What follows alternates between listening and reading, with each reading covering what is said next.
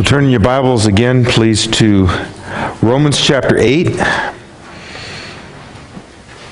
I'll read to you starting at verse 16. We'll go down to 25. Romans 8, 16 to 25.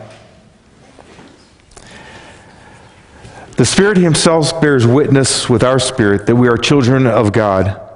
And if children, then heirs, heirs of God, and fellow heirs with Christ, provided we suffer with Him, in order that we may also be glorified with Him. pause for just a moment. The next verse, verse 18, is really the key verse to the preaching that is to come in a few moments. For I consider that the sufferings of this present time are not worth comparing with the glory that is to be revealed to us. For the creation waits for the eager with, excuse me, for the creation waits with eager longing for the revealing of the sons of God. For the creation was subjected to futility, not willingly, but because of him who subjected it, in hope that the creation itself will be set free from its bondage to decay and obtain the freedom of the glory of the children of God. For we know that the whole creation has been groaning together in the pains of childbirth until now. And not only the creation, but we ourselves, who have the first fruits of the Spirit, groan inwardly as we wait eagerly for the adoption as sons, the redemption of our bodies. For in this hope we were saved. Now, hope that is seen is not hope, for who hopes for what he sees? But if we hope for what we do not see, we wait for it with patience. This is the word of God. May God bless the reading of his word, and now the preaching of his word and its hearing. The subject that Paul is speaking of here is really suffering as a fact of life. Suffering just as a part and parcel of what it means to live as Christians in this fallen world. It is a suffering existence that we have. And the fact that God will one day redeem even this physical, this created world, just seems to make it a little bit more intolerable.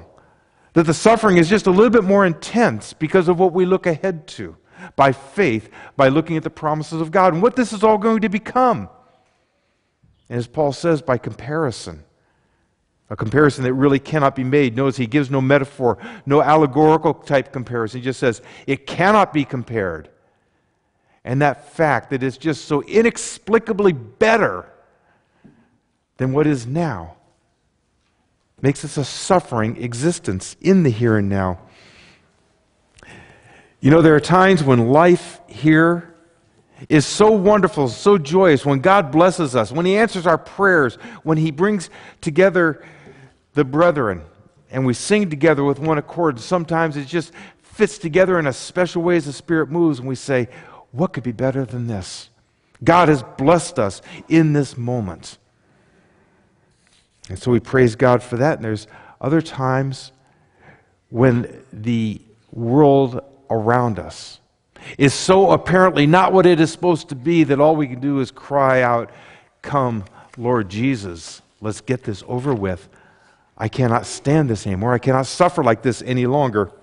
Yet here we are today, in this place, in this time, still here, still suffering, still waiting. So it's suffering. It's suffering. And how do we endure this? How do we endure this suffering? How do we get through it? Well, God willing, we will answer that this morning. I believe that's what Paul answers for us, is really this question How do we get by? How do we stand it? God willing, we will find that answer in these verses this morning. And by that, we'll be strengthened by God as we hear what He has to say about this. Much more important than anything I would have to say. Suffering made tolerable. Suffering is made tolerable by the hope of our ultimate redemption. So wait patiently, therefore. This is the answer. Wait patiently as you suffer in this world, knowing that God will do as He has promised.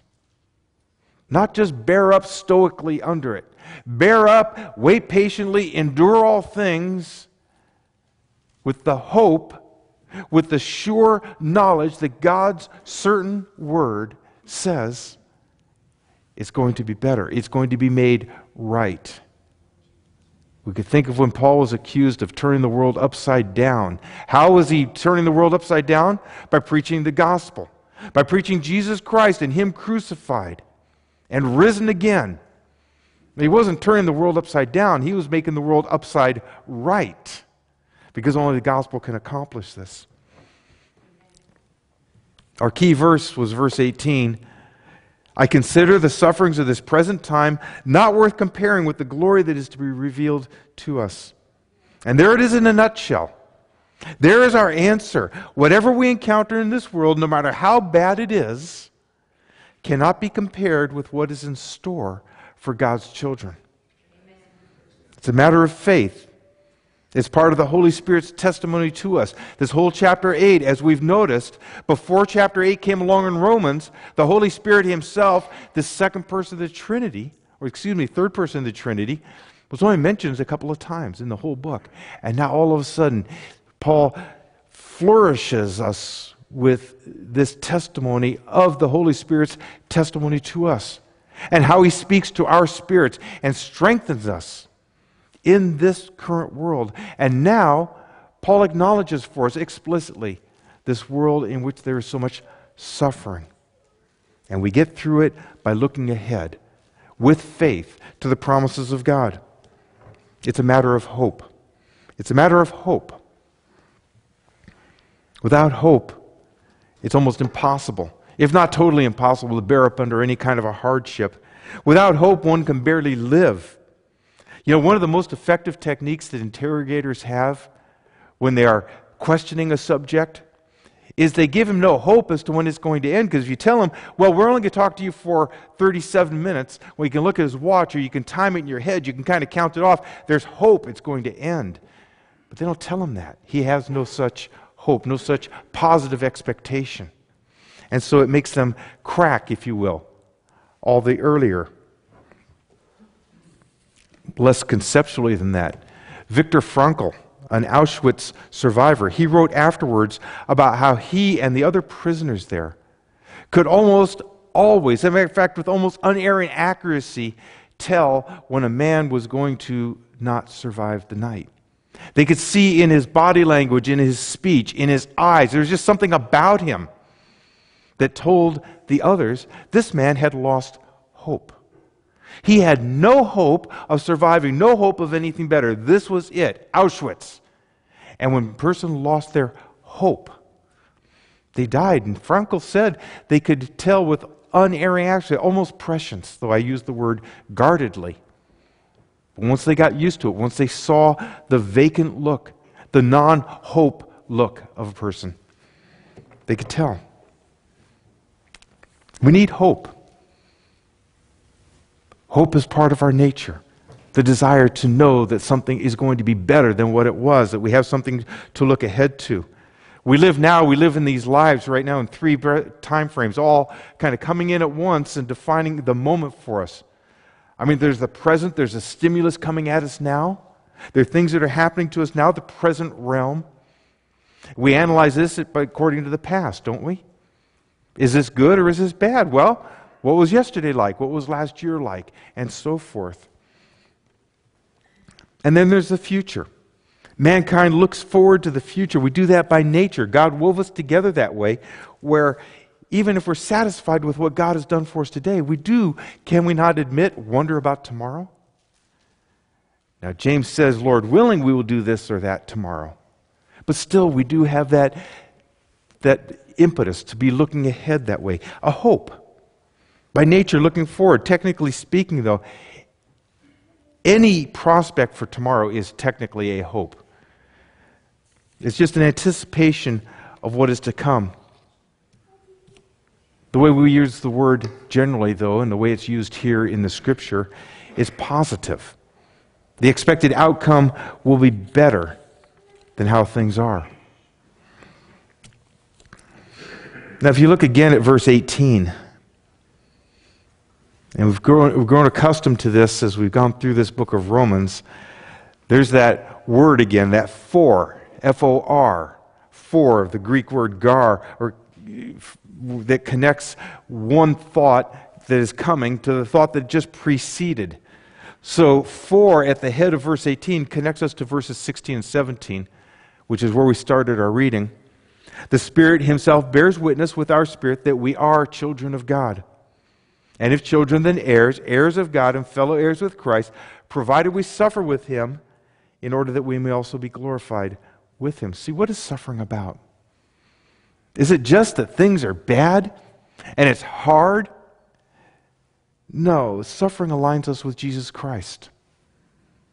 Suffering aligns us with God's Son. He is the one we suffer with, He is the one we will finally be glorified with. Now, suffering doesn't earn us anything, Jesus earned us everything. He and He alone. But suffering, here the term is very comprehensive. It includes persecution, it includes disease, it includes sin, death, it includes conflict of all sorts, it might even include bad weather. All is from sin, and all is cause for suffering. And it aligns us with Jesus Christ and His suffering. Now, we need to take a moment and explain a bit about this. Especially when we think of Jesus Christ and his suffering and how we're aligned with that, we need to be sure we understand what suffering is. I said just a moment ago, it's a very comprehensive term. It's a way to encapsulate it all would be to say we're suffering with everything that's just not right in this world, where right is defined with how God had originally intended it. And so every blade of grass that is not in line with God's original creation when He pronounced it very good is part of that suffering. That suffering is being able to look at it and say, we know, because we're God's children, that it's just not right. We suffer along with Jesus. It's not just his cross that is in view. It is there, but it's not just that he suffered, Jesus suffered, or he experienced all the ill effects of the world that we do. He lived as we do. God in him became flesh. And it's very important that we understand that Jesus Christ, God in the flesh, was a man. A man who faced everything that we face. And in this world, suffered all the things that aren't right, just as we do today, some 2,000 years after he actually walked on this earth. If he lived today, he would, with us, breathe air that is less pure than it ought to be.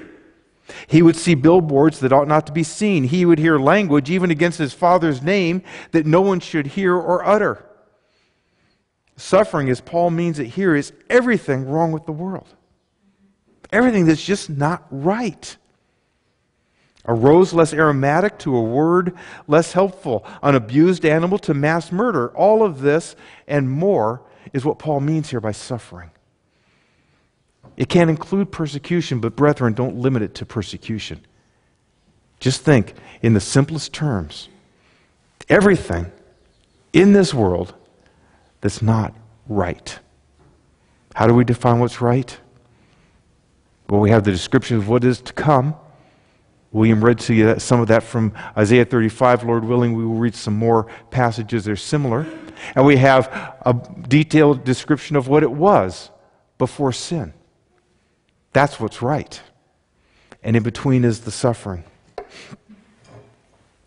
To suffer with Christ, it requires us, really, if we're going to suffer in the way that I'm describing it here, it means to have his view of things. It's having a worldview that sees that the world is just out of kilter, it's just wrong.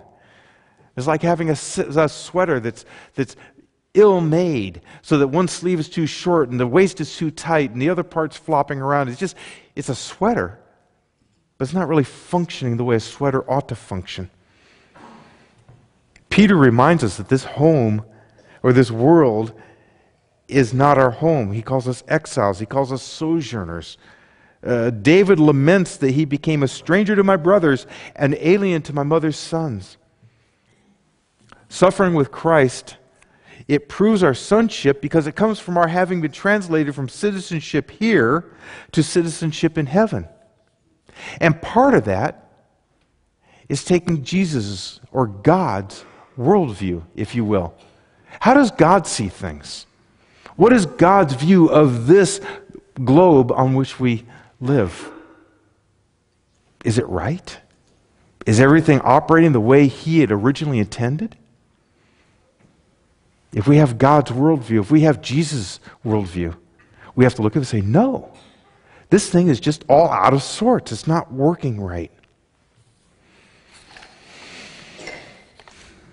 The hope we have of what is to come is not just better than this, it is so fundamentally different that this whole terrestrial ball is odd, misshapen, dark, dingy, insufferably out of rhythm with God's intentions. It's disorienting the way car- carnival mirrors are. It, it, it's like those deep dreams that we have that even while you're in the dream, you know it's a dream, but you can't stop dreaming all the same. It's just weird. It doesn't make sense, and you know that it's a dream. You know that this isn't reality, that you can't come out of it. We suffer in this world because we just don't fit in. Because we see things the way they are, we see things through God's eyes. There was one who once did fit in. There was one who did fit this world once, and that was Adam, and that was before his sin. And after that, God's people have been sort of an odd man out.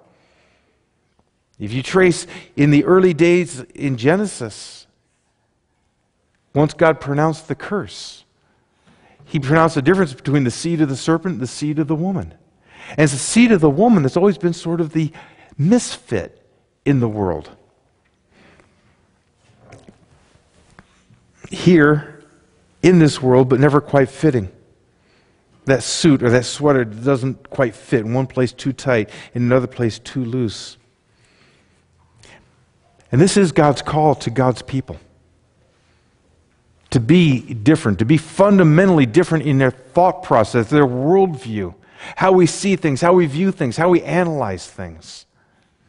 And if we see things through God's eyes, this world is a place where we suffer because it's just so not right, just so not within God's will as He had originally intended it. Israel was called to be different. Read through the book of Leviticus sometime and see how often it's said that this law, this rule, this precept, this requirement upon God's covenant people is given for no other reason than you don't be like them. And who are them at the time? We're speaking of the Philistines, the Canaanites, the people of the land, as they're so often called. In the book of Joshua, those are the ones who were destroyed, the people of the land. Did Israel suffer seeing what happened there?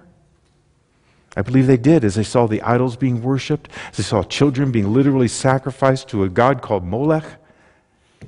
All these ungodly, pagan, awful practices is cause for suffering.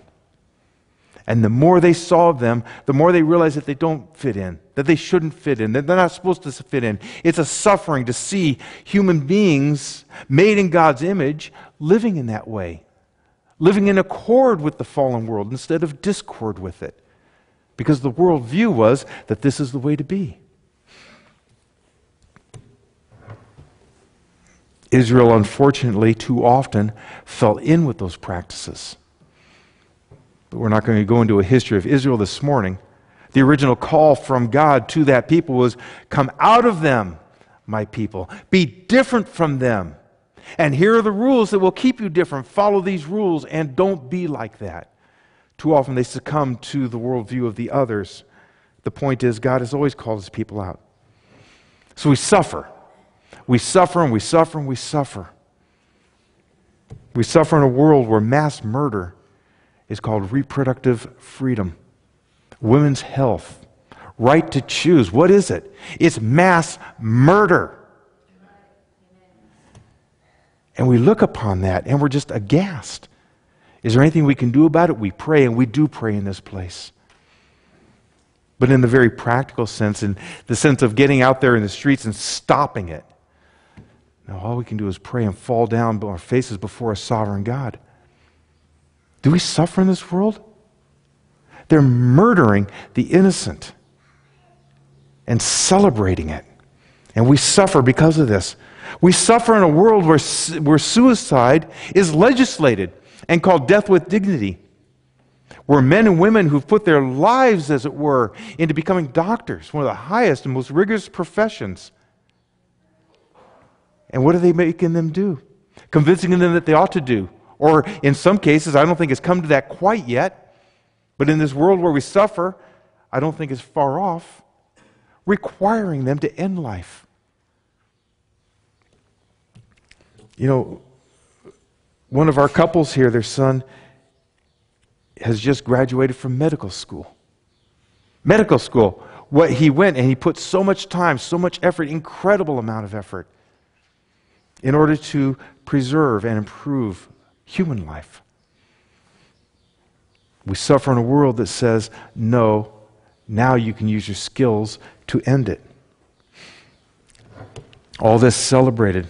We just don't fit in. We shouldn't fit in. We're a bunch of Alice's trying to make sense of Wonderland, looking at that Cheshire cat and that crazy image and trying to figure it out. We're Dorothy living the dream in the land of Oz, where straw men come off of stakes and start dancing and singing and going along the road to Oz. It's just all wrong. It's just insufferably wrong. And the question is, how do we endure it? Does this sound like a very negative message, like, oh, everything's just wrong, the world's out of, out of sorts, and we're not because we've been redeemed, therefore we see how bad it is, we're just going to suffer and suffer and suffer. No, we need to endure this. And we need to endure this in a way that brings glory to the name of our Lord and Savior, Jesus Christ, with whom we suffer. The end of the reading had this, but if we hope for what we do not see, we wait for it with patience. The verse just before that ties this waiting to faith. For in this hope we were saved. So there's our salvation. In this hope we were saved. Now, hope that is seen is not hope. For who hopes for what he sees? That's pretty easy to understand. and I don't have to draw a lot of examples for that. We hope for something. When you have it, you stop hoping for it. We hope to see Jesus Christ. When we see him as he is, we stop hoping for it because there he will be. That's pretty easy to understand. How do we endure patiently? How do we go through this suffering world with this patience, with this endurance that Paul speaks of here? Well, we endure patiently because we have a glory yet to be revealed to us. Some translations have in us. The preposition is a little bit indefinite. The glory to be revealed to us the glory to be revealed in us. In either case, that glory is our final redemption, our final adoption.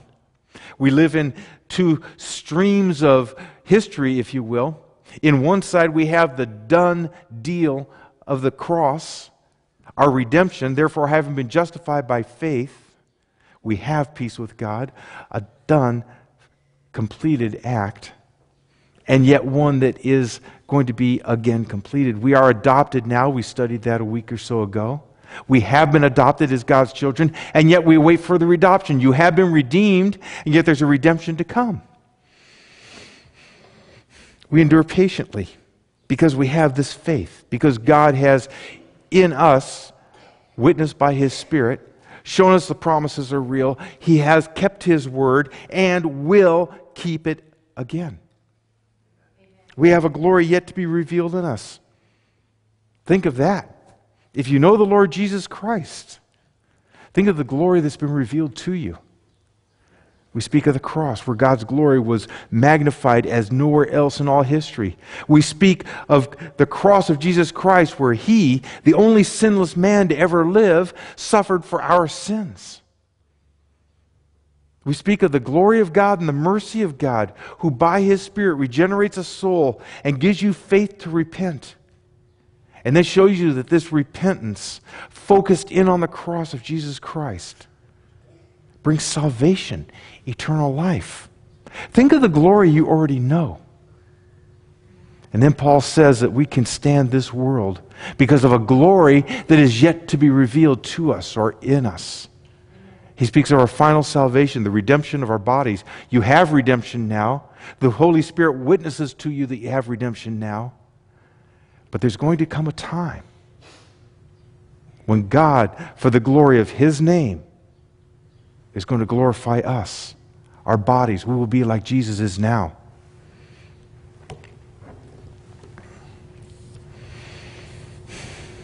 There's a glory to come that is a sustaining glory or a sustaining hope, a glory that God has revealed to you already in the cross.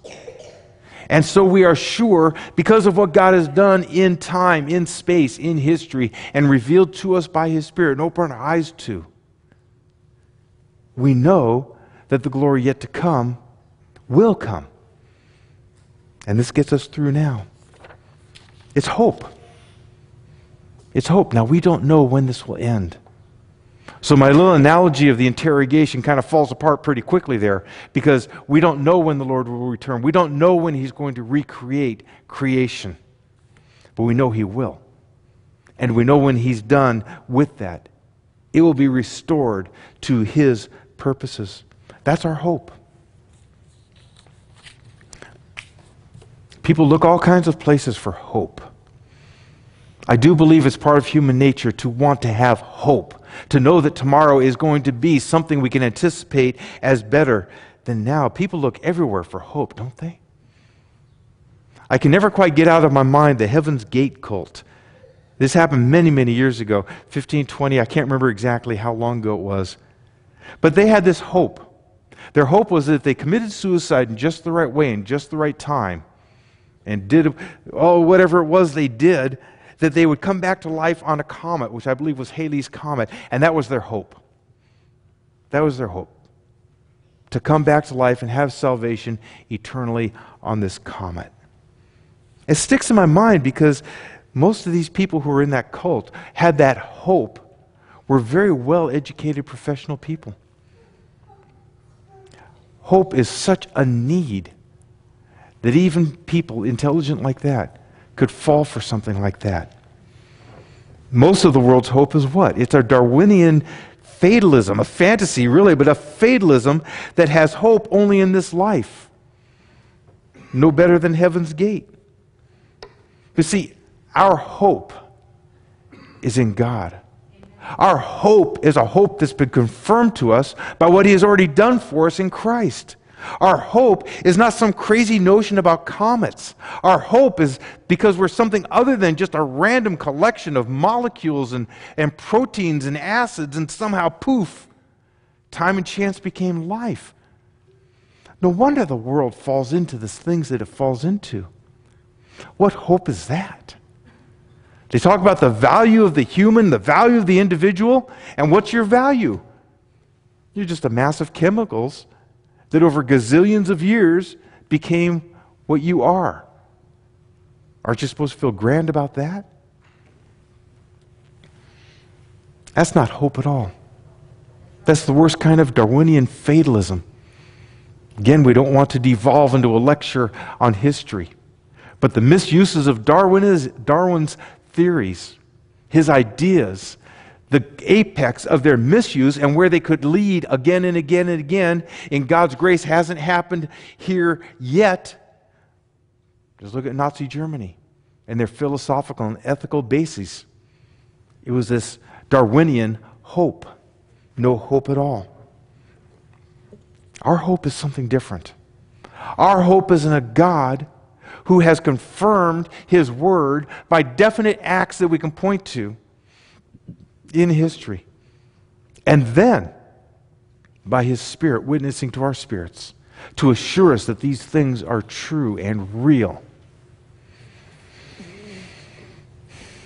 Not some crazy thing about comets.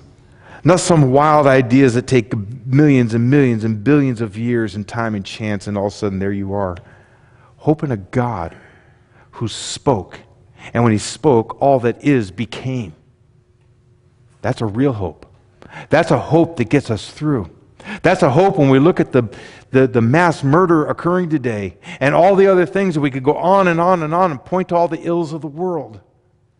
But this is a hope that sustains us. Because, brethren, what's happening now is not God's eternal will, it's something different. The suffering comes to us from having the mind of Christ. He suffered the cross because of the joy set before him. We read that in Hebrews 12 2. Have his mind. If Jesus Christ could suffer the cross, because on the other side of the cross was God's promise of his resurrection, his ascension, his glorification, if we could apply that to ourselves and have his mind, then what are we trusting in? Just as he did. The promise of God. God would need, not leave his son to corruption. That's what Peter preached at Pentecost from Psalm 16. He would not allow his Holy One to see corruption. Christ said, Therefore, into your hands I commit my spirit. And God kept his word. Have that mind that looks at the promises of God and says, Because God says he has better in store for me, the other side of that cross, small c, not Jesus' cross, the other side of that cross that we must bear in this world.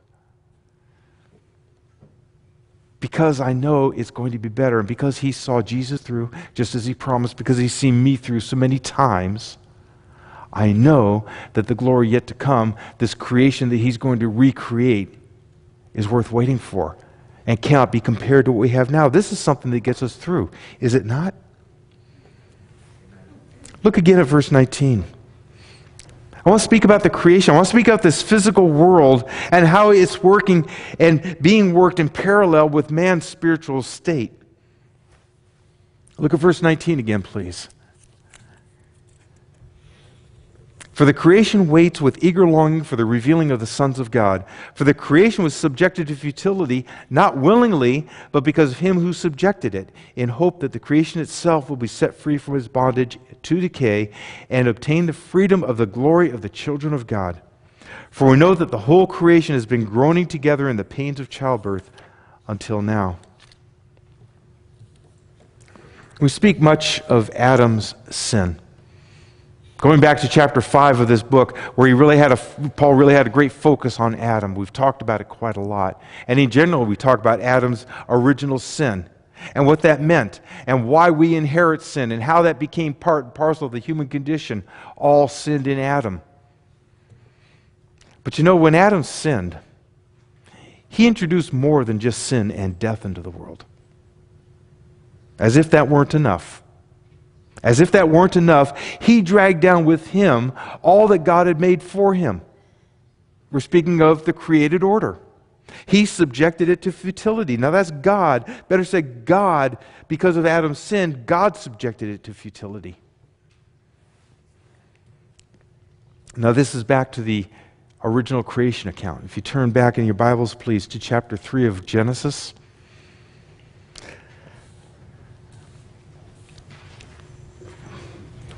Chapter 3, starting at verse 17.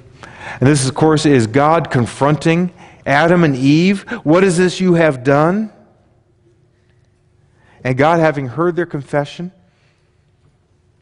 he now pronounces judgment. And to Adam he said, Because you, you have listened to the voice of your wife and have eaten of the tree of which I commanded you, you shall not eat of it.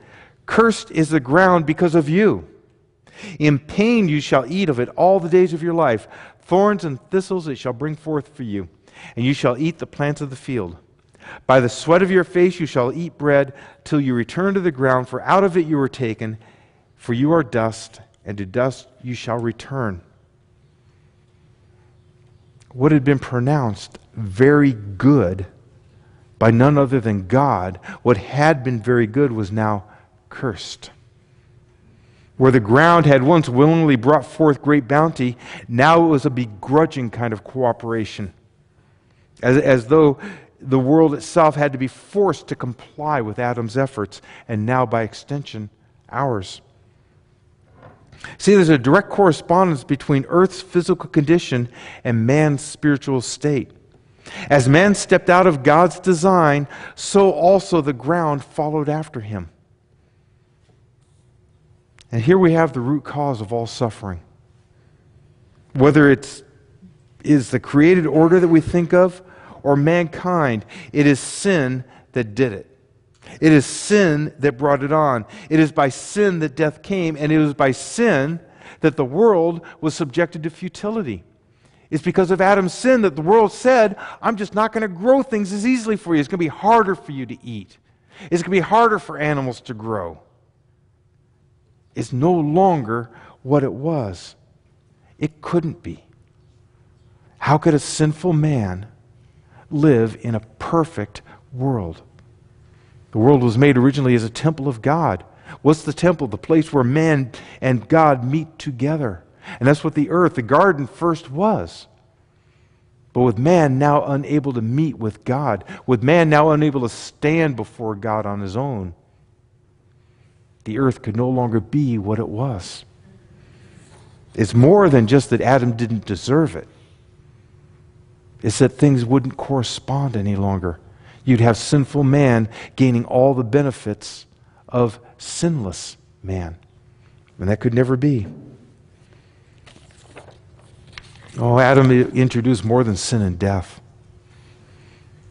Every thistle is because of Adam, every weed. My friend Mike Kelly and I used to backpack quite a lot. Kevin here, we were on the great epic on the John Muir Trail, and there were times when we ran into mosquitoes. And my friend Mike is more radically against mosquitoes than anybody I've ever known. I don't know anybody that likes them. He likes them less than anybody. and we go on and on and on about how they had to have come with Adam's sin. That's a little bit tongue in cheek.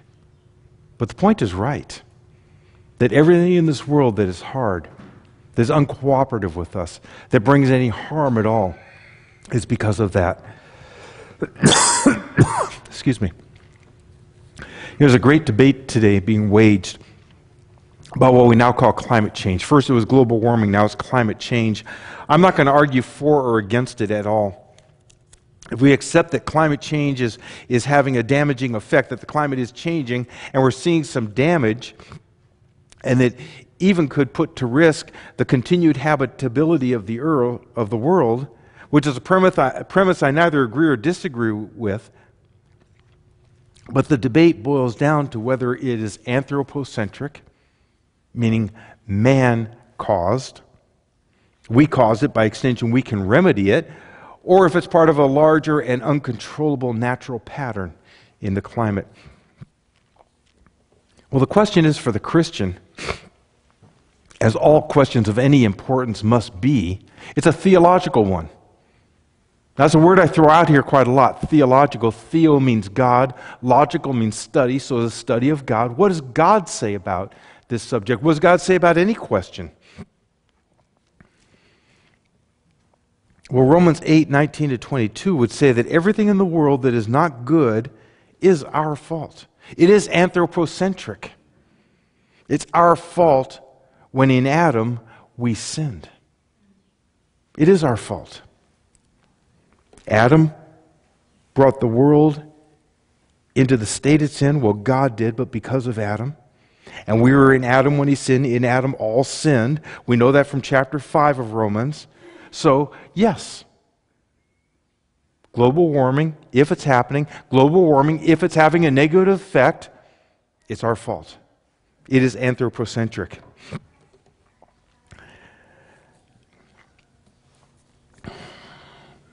But that's where my agreement with many people ends. You see, all that is wrong in the world, from man's sin to the world's corruptions, is not waiting for humanity to gather together and make a solution. Because that would be just be another version of Babel in Genesis 11, wouldn't it? Where we gather together and we're going to figure it out. We're going to build a high tower and we're going to come up to God and do what only God can do. What is what the world is waiting for if these movements in the weather and everything else that we hear about, if they are really having that effect, if they're having that bad effect that they're saying, then what are we waiting for for that to be corrected? We're waiting for the revealing of the sons of God. We're waiting for our final adoption and redemption, the revealing of who we are as Christ calls us back to himself. And we'll stand there revealed. And then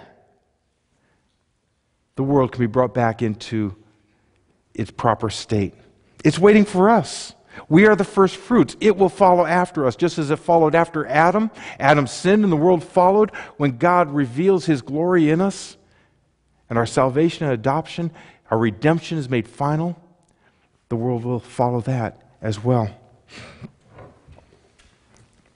You see, the whole creation groans under the weight of its unwilling enmity against its stewards and will do so until we who are in Christ are finally redeemed. And then the pangs of childbirth, as Paul puts it, will end and a glorious new creation will take hold. A glorious new creation that will, as it was originally for Adam, before Genesis 3, before the tree, before the sin, before eating the fruit, before all that, when the world did what it was supposed to do. Now, man worked. It wasn't like he just walked out and got things for free. Work is a blessing from God. But the world cooperated in a way that we've never even seen in this life. What God did, He did in the hope that it would one day be set free from bondage to decay. Now we know God doesn't hope, not the way we usually think of that word. He doesn't hope for something. He's speaking of his, his knowledge, his predetermined purposes. Man before sin was not subject to decay. Decay is a consequence of sin. It's the constant incursion of sickness and death. So also the earth, at first brought forth, it stood ready to correspond to mankind for whom it was intended. It was, day after day, pronounced good. And once man took possession of it, with his wife, very good.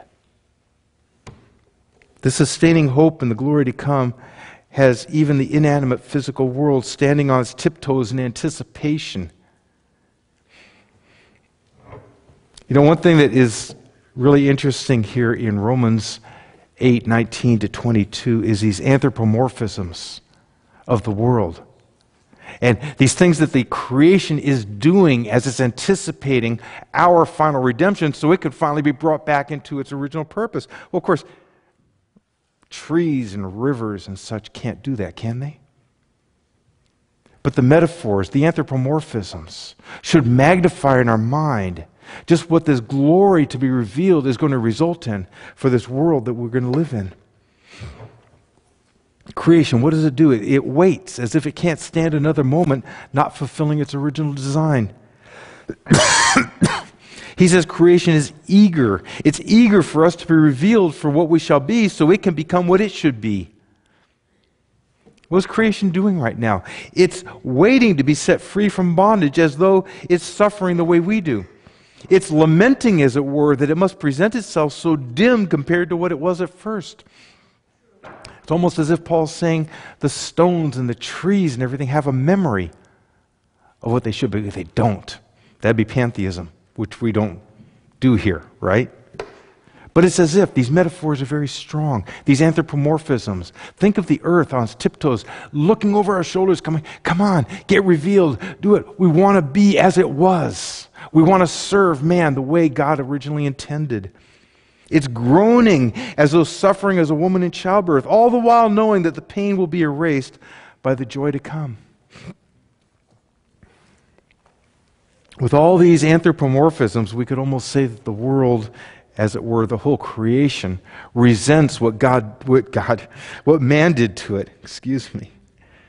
I mean, it's worse than any ecological harm man might do.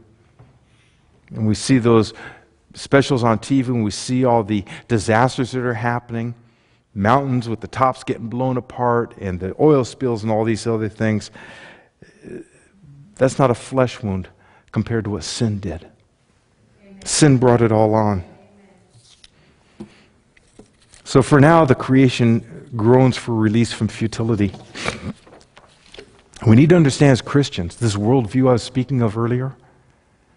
How did all this happen? Who's in control of all of this? Well, the answer is simple it's God. It's God. I had William read to you from Mark 11, where Jesus curses a fig tree that had the temerity to promise fruit, but when approached had none. The tree dried up immediately to the amazement of the disciples. Well, I had him read that just so we understand that this created order is completely under God's sovereign control. When we go out there in this world, this world in which we suffer, you're going to hear exactly the opposite of what the Bible says. That the suffering is because of things we have done. The problem with the world is it's got a cancer. And what's the cancer? Well, it's you and it's me. That's ultimately what the message is. And it's completely wrong. If Paul turned the world upside down by his preaching, he was turning the world right way up. That we might have the worldview of Jesus Christ himself, that God is in control. Why did Jesus walk on the water? To prove he could? No, because God is in control of nature. That everything that happens is under His direct, providential, and good hand. God is the cause of earth's futility, and He can re- reverse it. Only He can, only He will. I just read to you three passages. I'll read through them pretty quickly. Isaiah 35. William read this to you, but I'm going to read it again. The wilderness and the dry land shall be glad. The desert shall rejoice and blossom like the crocus. It shall blossom abundantly and rejoice with joy and singing. The glory of Lebanon shall be given to it, the majesty of Carmel and Sharon. They shall see the glory of the Lord and the majesty of our God. There it is. Wilderness, dry land, deserts are doing what? They're being glad. They're rejoicing in something. This coming recreation. Psalm 98, verse 7 Let the sea roar and all that fills it, the world and those who dwell in it. Let the rivers clap their hands, let the hills sing for joy together before the Lord, for he comes to judge the earth. He will judge the world with righteousness and the peoples with equity. Rivers clapping their hands. We know that's impossible. What's the picture here? That the earth itself anthropomorphized, will be so glad, so joy, overjoyed to see our final redemption because it knows that it can then be brought back into order, back to rights. Isaiah 55, verses 12 and 13. You shall go out in joy, and be led forth in peace. The mountains and the hills before you shall break forth into singing. And all the trees of the field shall clap their hands. Instead of the thorn shall come up the cypress. Instead of the brier shall come up the myrtle and it shall be and it shall make a name for the Lord, an everlasting sign that shall not be cut off. This hope we have in the recreated order isn't something that just got inserted into the New Testament. This has been the hope of God's people since Adam's fall. That God would one day make everything that is wrong right. We get a foretaste of this. Paul calls us the first fruits.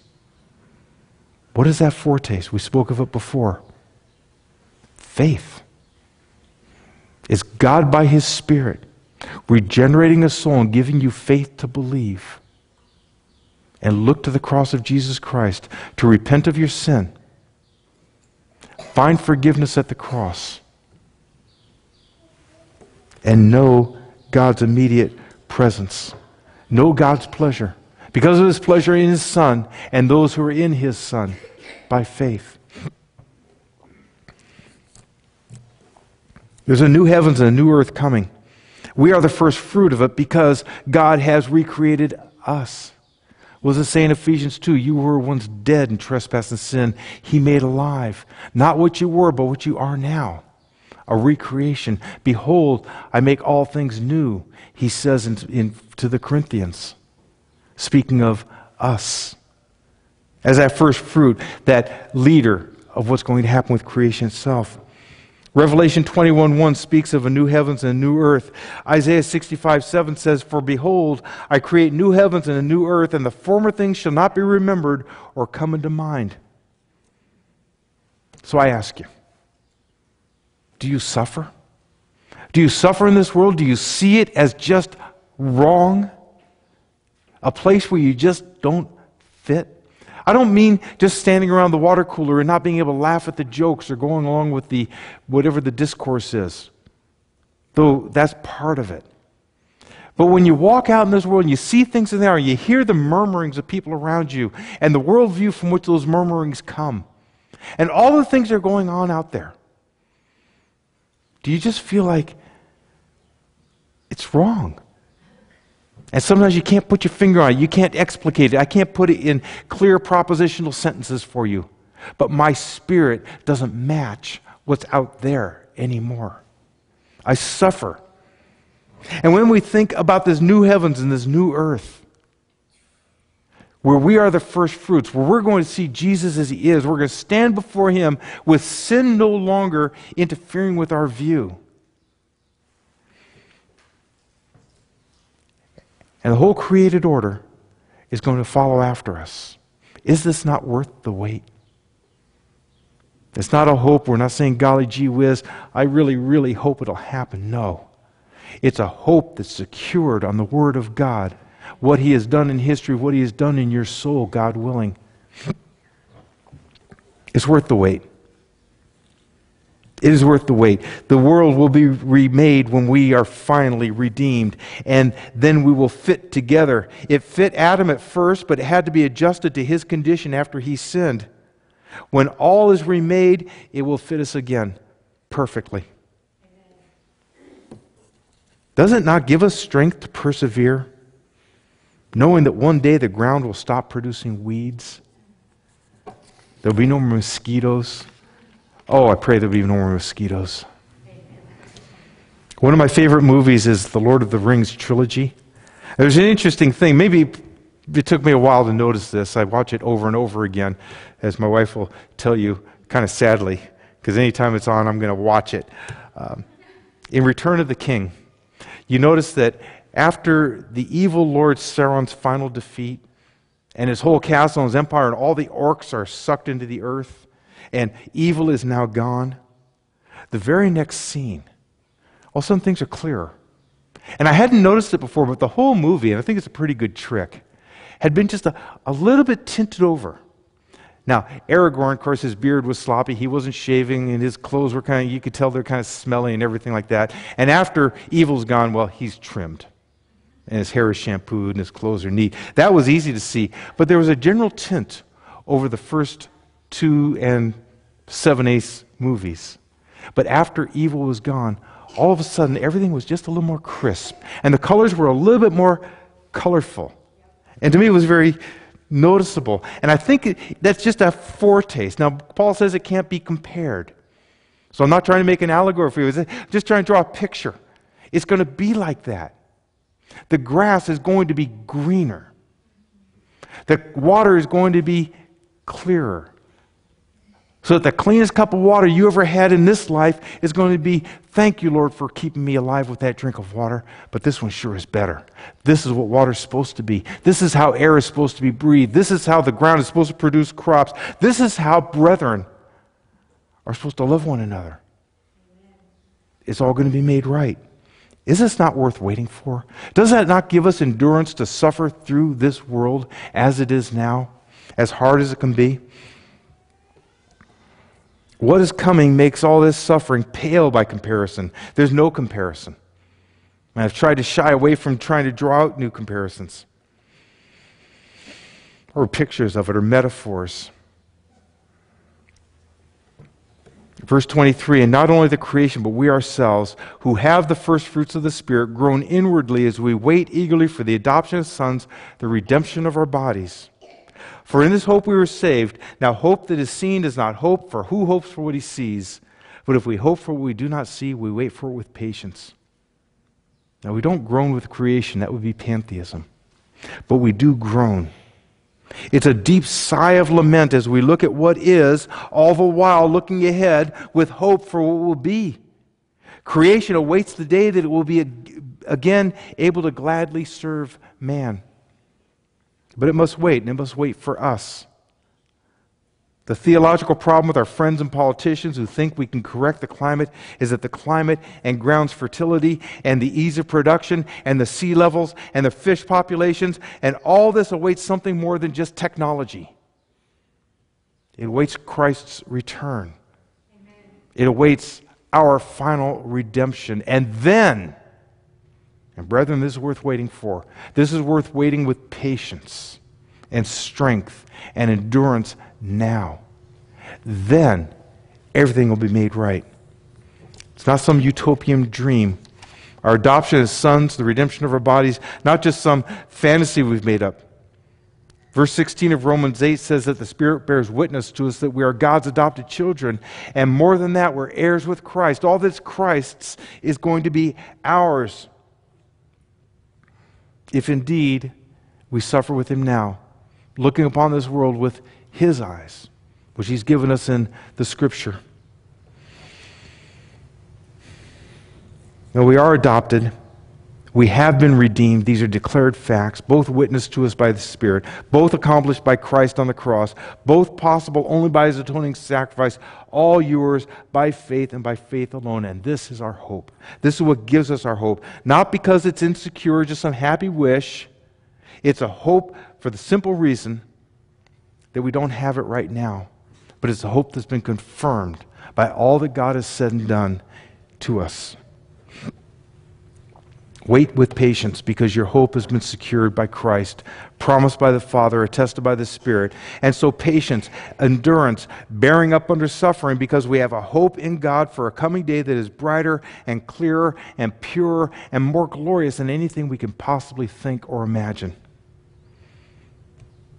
Our suffering, which is real, is made tolerable by this hope, by our ultimate redemption. And we know that waiting is hard. God knows that waiting is hard. He knows our frame.